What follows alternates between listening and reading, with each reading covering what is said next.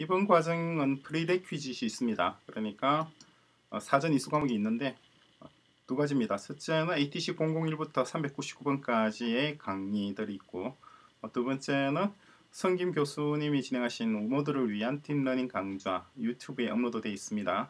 요걸 사전에 미리 학습을 하시고 그리고 이 수업을 연속해서 들으셔야 됩니다.